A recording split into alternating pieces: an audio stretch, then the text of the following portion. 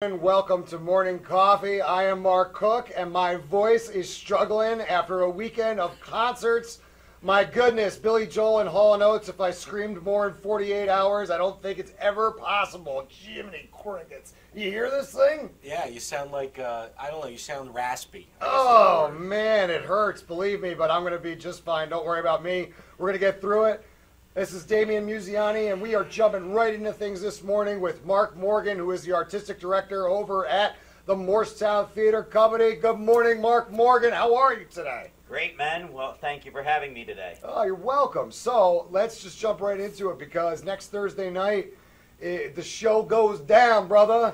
It's The Little Mermaid. That uh, we open our all ages show. We cast from six to oh boy, if I said the oldest age of the female oldest cast member, I'd probably be struck by lightning. But let's just say she's a grandmother. Uh, 52 cast members, uh, young kids in their first show, uh, middle school, high school, teenage, college, parents. Uh, we have it's a, it's an uh, accurate casting. So like King Triton is a 50 year old male, uh, and his daughter Ariel is double cast. Uh, they're both in their 20s. Uh, so uh, all ages. You'll come see the show. We're the first community theater in the Delaware Valley to do The Little Mermaid this year. Some high schools have done it, some other groups south of us and around us after us, but we're the first ones to debut. Awesome. Yeah, that Disney's is The Little that is great. I mean, the one thing that struck me when you gave the description was you have 52 people in the cast. Yeah. That, that's a ton of people, especially when you're dealing with a lot of actors who've probably never taken the stage before. What's that undertaking like? Uh, it's a, I always say it's a big jigsaw puzzle. So many pieces to put together. We just had our first rehearsal on the stage we're performing in last night. So we're getting used to the stage. It's like when baseball players, they go to a new baseball stadium, they're getting used throwing balls off the fence to see how the balls bounce. We have to get used to the stage. So Mhm. we're doing all the traffic, ins and outs, exits and such, placements for dance numbers, seeing how we fit. That's not talking about adding sets, props, uh, costumes, sound, light, uh, video. All those added pieces of the puzzle come in this next week. The cast has you know memorized their songs, their uh, dialogue lines, their dance steps. That we've been doing for two and a half months. Now it's those the tech end of it. Yeah, coming in. putting it all together, you know, and and just to let everybody kind of behind the curtain here, you you had the venue in place, and then it kind of fell through and shifted. But you guys, you always are on top of everything. So in nine days, you basically have to pull off this whole thing. You just found out that the venue that you're having it at, you know, kind of uh, solidified the the date. So you're kind of up against the uh, the gun a little bit. Talk about logistically how difficult is it going to be to get everything done in the next nine days? I know you're going to do it, but Well, the old saying, the show must go on. We'll, we always find a way. Uh, we normally performed at the middle school in Moorestown last nine summers, but there's a new roof getting put on, space not available. And we were told that in plenty of time. We made alternate, alternate arrangements, but something happened there about a month or so ago and it fell through, so we were scrambling. I've been to every church and school within five mile radius of Moorestown trying to see if we could find somewhere else. And then we just uh, put an emergency appeal into the Hope Community Church on Main Street in Moorestown, where we do our summer camp. We're already doing four shows there and have been there for the last six years or so. And in fact, uh, Little Mermaid will be the 50th show we'll have performed out of our 116 will be at this Hope Community Church. Wow. But it, it's a lot for them to do the four camp shows. So we uh, just said, please, please, please. And they met Sunday morning after their service and said, all right, we'll find a way. We'll make it work. Uh, we have a great relationship between Hope Community Church and the Moorestown Theater Company. And so I was told Monday or Sunday at uh, like noon, yes, you're here.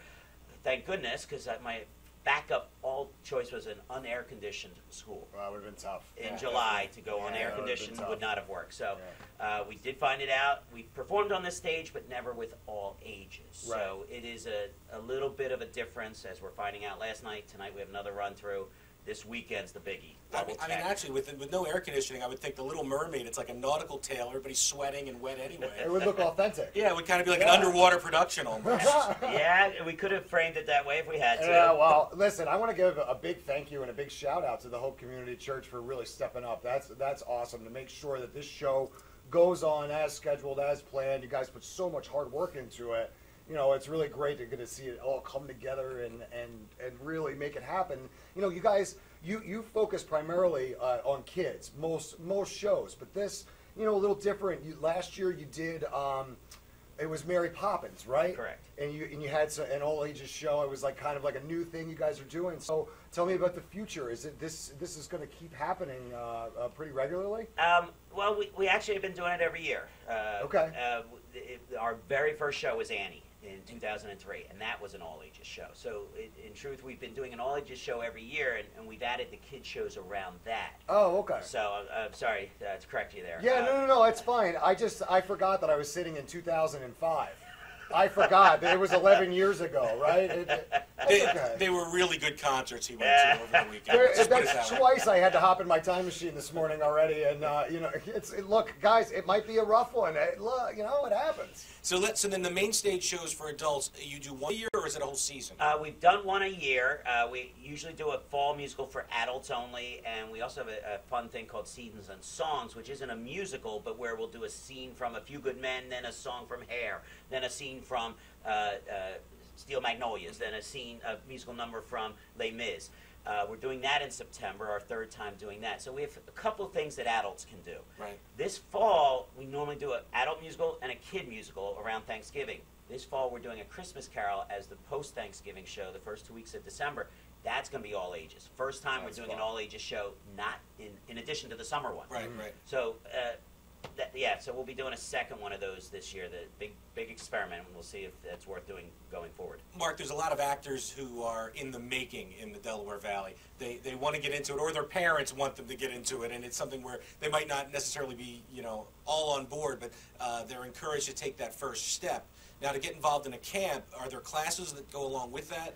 How do do- kids get involved? We do classes year round from September to May, uh, but come June when we start summer camp, we're different from most theater or performing arts camps where they're just rehearsing a show morning and afternoon. We do do classes in the morning. So uh, right now we in fact open the Sound of Music tomorrow night.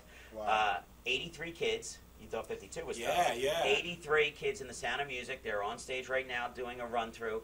Uh, normally we'll do classes with them uh, the first two weeks of camp. They'll rotate through drama, improv, music, and a dance class. And dance alternates every day between jazz, tap, and ballet. So we give them uh all the components to be a well-rounded musical theater performer. But afternoons, those first two weeks, they're rehearsing. But now we're in tech week. This is Mhm. production week. We do th- three weeks. We put a show together. So yesterday was the first day on the stage for that group at Hope Community Church. So my Little Mermaid people at night are rehearsing around a Sound of Music set. so it's a little crazy And, juggling the Yeah, two shows. and wow. are they doubled up? Because I'm sure some are in both. Uh, oh, absolutely. Yeah. Um, and I asked yesterday, of the 83 kids in Sound of Music, 13 of them have never been on stage before. So we do have some rookies. About 10 of them are doing both, and some of my staff from the summer camp are in the Sound of Music. So the kids in Sound of Music are excited to come see Little Mermaid because they'll get to see Miss Caitlin, who is their dance Right. teacher, perform. Or even me, I'm playing the part of Grimsby, the, the valet to Prince Eric. Nice. So they're going to get to see Mr. Morgan up there uh, singing Oh, and dancing fun. a little bit. They're gonna love that. Yeah, so uh, it's a good combination. We pitch that back and forth. Sound of Music kids, come see Little Mermaid. I said to the Little Mermaid cast last night, gotta come see Sound of Music this Yeah. week. So it, it's a back and forth, uh, good It's relationship. the synergy between the cast. That's Absolutely. Good, that's a good, good. thing. Absolutely. So now, if a kid gets involved, I mean, 83, 82, 82 kids. Yeah. So they get involved with the summer camp. How many years before they kind of move on to the adult productions, or Um, I mean, some some will jump in and do, uh, like I said, some are doing both right now. Mhm. Uh, for our all ages show in, in July every year for the Little Mermaid this year, we do a, a, a quirky rule that if you're six to uh, twelve, a preteen, you must have an adult relative be on stage with you, not selling tickets, not painting sets, Mhm. not doing costumes, singing and dancing with you. Because that Annie we did in year one, we figured, oh my gosh, we're gonna get 40 orphans, and like, who's gonna play Right. all the adult roles? Yeah, right. Annie's not a kid show. Right. As much as people think it's oh little girls and cute, it's you need FDR's cabinet, you need the Hooverville bums, you need F, uh, uh, Daddy Warbucks. Warbucks' Yeah. uh, maids and butlers. Uh, there's a, there's more for adults to do in Annie than kids. So we put that rule in that first year. We had 40 kids, we had 40 adults, nine teenagers, and a dog. So we had 90 cast members that first year. Uh, so we did it that first year, and we've continued it every year since. Sometimes we lose kids. Parents say, "Oh, I can't do this." We say, "Well, maybe grandma can. Maybe Yeah. uncle's you know, Johnny can. Step in and be Rooster Cogburn or something. Right. So we, we, we have we have uh, several times with the grandpa- grandmother and grandchildren, or aunt and niece, or uncle and, and nephew. So it's a little quirky rule. We lose some people. We also get some adults who've never done this, and we they say, "Oh, you forced me to do it." And by the end of the summer, they're like, "What's next summer?" Yeah, they love they it. love it. Right. They get bitten by the bug. Once you try it, it it's not, dr- uh, you know, it's not drudgery. It's fun. Yeah, that's awesome. His name is Mark Morgan. We got to take a quick break, but we will be right back here on Morning Coffee. Stick around. Simply Gents, located in Marlton, New Jersey, takes care of all your grooming needs, including haircuts, straight razor shaves, massages, facial, manicures, pedicures, and waxing. To find more information or book an appointment, visit us online at www.simplygents.com. The secret weapon of a well-groomed man, Simply Gents. When it's time for Jersey Mike's to make a really great sub, this is what we do. It's what we've been doing. It's what we've always done. It's what we'll always do. So what are you doing? Jersey Mike's. Be a sub above. Today's show has been sponsored by More Than Gifts. Come see our new location in Marlton, New Jersey. Not just gifts, but more. Today's show was brought to you by Alicia Kelly of Whitehorse RV Center in Williamstown, New Jersey. Alicia is your RV expert. Contact Alicia at alicia at whitehorserv.com or give her a call at 856-262-1717, extension 203. When you think of RV, think Alicia Kelly.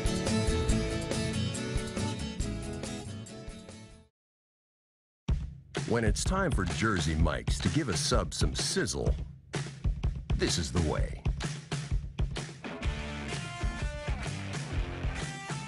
The way it's always been. The way it always should be. The way it always will be. Because that's just the way it's supposed to be. Jersey Mike's. Be a sub above. Extra Innings is the nation's premier indoor baseball and softball training center, featuring indoor batting cages, seven multi-use tunnels, and training rooms. Extra Innings can provide professional instruction, private and group lessons, and the best year-round clinics. Along with a nationally recognized pro shop that features the latest and widest selection of equipment and apparel, our experienced staff can provide you with the right instruction and help you find the best equipment for your ability and budget. Extra Innings, where the game never ends. Today's show has been sponsored by More Than Gifts. Come see our new location in Marlton, New Jersey. Not just gifts, but more. Welcome back to Morning Coffee. I am Mark Cook, sitting next to Damian Muziani, and we are continuing with Mark Morgan, artistic director over at the Moorestown Theater Company. So, Mark, we got to uh, right now. I got to get everybody out to see The Little Mermaid next Thursday night, which is July 21st. 21st, my mother's birthday. You can celebrate my mom's birthday by going to see The Little Mermaid at the Hope Community Church. Mark, how do we get tickets? MoorestownTheaterCompany.org, or you can call us uh, 856 778 8357, 856 778 8357, or at the door. Although we do tend to sell out, so I'd recommend going online. They're all reserved seats, so that way you get to pick out your own seat if you right. go online. And then, and people should know that they're 12 bucks. Any seat in the house is 12 bucks. They're all awesome seats. It's it's a reserved seat, so it, it's worth it. Look, people are going to say, "Oh, do you do kids tickets? You do whatever?" Well, no, we don't charge uh, a high amount. We charge a middle, median, low amount so that everybody can afford it. Every seat is 12 bucks. MoorestownTheaterCompany.org. That's the best place to go to make sure that you can get your seat because look, your casts are big, which means a lot of family members are coming to buy these tickets. So get your tickets now.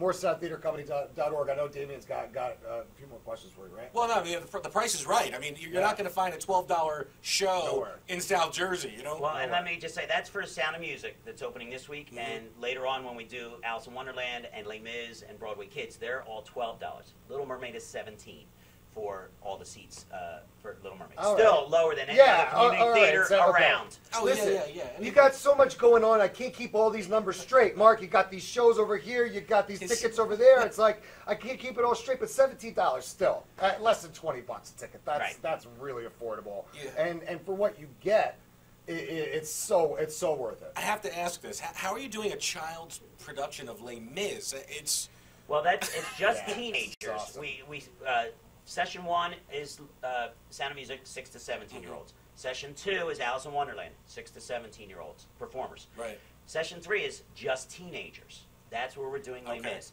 Session four is just preteens. So we do this review we call Broadway Kids. We write it, we put it together. We'll throw a song from Wicked. We'll throw a song from Finding Neverland. Things that are on Broadway right now that we can't do the shows, the full Right. lengths, Mhm. but we can. You know, the young kids love doing things like that. They- Sure. Oh, the teens don't get to do this. We get to do Wicked. Yeah. They're so pumped. But the teens love doing a show without the little kids underfoot. Absolutely. So uh, we are cheating a little bit. Normally, we do a show. Last year, teen show was Legally Blonde. We start on a Monday. Following Wednesday, we're performing. Eight days later, we couldn't do Les Mis in eight days. So we, we threw some June rehearsals in. We auditioned in June, uh, end of May, Saturday, June rehearsals, just to go through all the music and, Sure. and the blocking. So when we come in for the first day of camp on Monday, August 8th, instead of auditioning and then starting from scratch, Uh-huh. they will all be uh, off book, ready to go, and we have a week to run that show.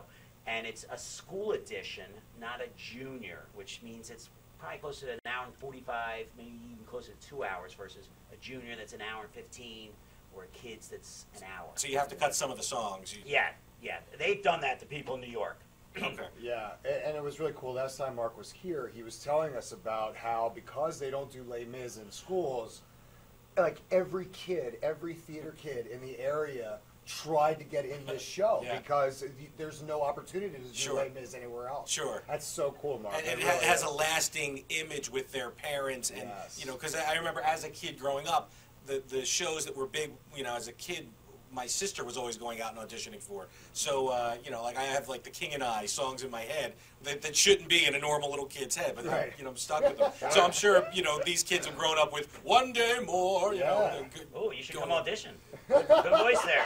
another day another symphony Oh, he's ready. Uh, in fact, I, I'm a numbers uh, uh, stat guy. Uh, baseball is my favorite sport, so I'll back of baseball cards. We have 55 kids in Les Mis. I checked how many different schools they're from.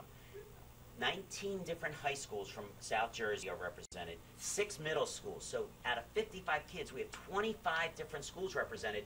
And it's like an all star cast because it's like the best of the best from different schools. We have kids from schools we've never seen before who came out because it's Les Mis. That's really Awesome. cool. Mark, we are crunched for time this morning, so here's the deal. You got to look over into camera one and give them the spiel, brother. Hit them. All right, MoorestownTheaterCompany.org, 856-778-8357. Sound of Music runs six performances starting tomorrow night at 7 o'clock at Hope Community Church. The next two weekends is Disney's The Little Mermaid, the area premiere for community theaters. Over two weekends, eight performances. The week after that is Disney's Alice in Wonderland, six performances. We take one week off, then it's Les Mis for six performances, and then Broadway Kids for six performances. Five shows, 34 performances in seven weeks at the Moorestown Theater Company this summer. That's it, folks. You have the rest of your year planned out. Thanks so much for joining us, Mark. We'll be right back with more morning coffee right after this.